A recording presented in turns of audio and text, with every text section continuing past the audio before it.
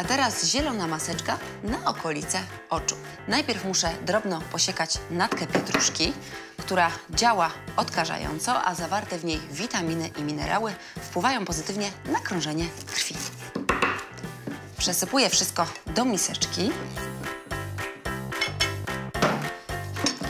I dodaję dwie łyżeczki jogurtu naturalnego, który działa kojąco na skórę. Jedna, druga. Wszystko mieszam i nakładam moją miksturę pod oczy. Wystarczy 15 minut, aby moja skóra pod oczami była napięta i odżywiona.